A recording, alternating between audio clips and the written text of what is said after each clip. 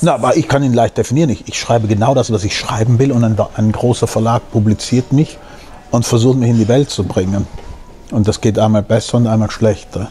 Das ist, das ist schon genug Erfolg, sozusagen die, die äh, äh mich keinem Kompromiss hingeben zu müssen in dem, was ich mache und von den, von den Möglichkeiten der Verbreitung die allerbesten zu haben.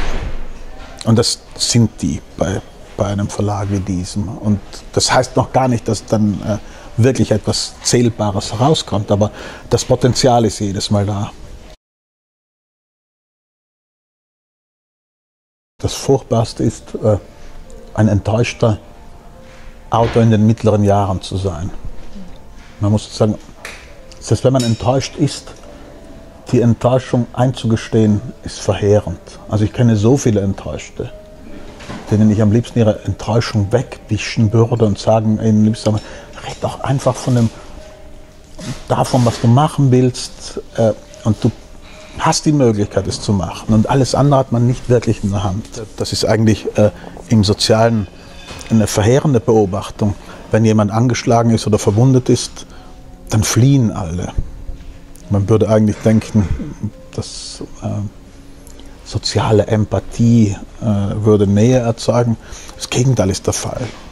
Alle, alle laufen davon. Und man, man sieht es auf, auf 100 Meter Entfernung, wenn einer geschlagen daherkommt.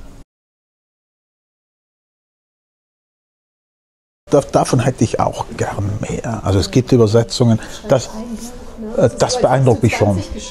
Ja, und vor allen Dingen auch die Möglichkeit unterschiedlicher Rezeption. Angenommen, die Deutschen können mit dem Buch wenig anfangen, dann kann man immer, ach, aber was, was war bei den Franzosen? Vielleicht ist es anders aufgenommen worden. Also den, die Ambition zu haben, äh, ist, ist, ist eigentlich das Natürlichste. Aber wie viele Autoren gibt es, deren Bücher in großer Regelmäßigkeit in viele Sprachen übersetzt, sozusagen, dass das ganze Werk da ist? Wenn Sie jetzt nachdenken würden, ich nehme nur ein Land, wie viele Itali lebende italienische Autoren kennen Sie, von denen viele Bücher auf Deutsch sind? Und schaffen wir vielleicht gerade zwei oder drei zustande zu kriegen, also seriöse. Viele einzelne Bücher, aber ein ganzes Werk